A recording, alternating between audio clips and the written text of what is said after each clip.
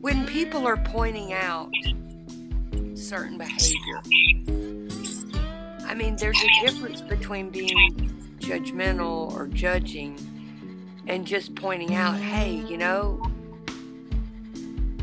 you're having anal sex with a guy. That's in by the Bible. That's saying you're committing a sin. That's just a fact.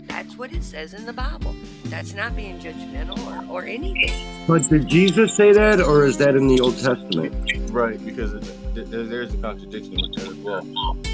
Oh, so it's not in the New Testament anywhere? Oh, it's I'm asking you.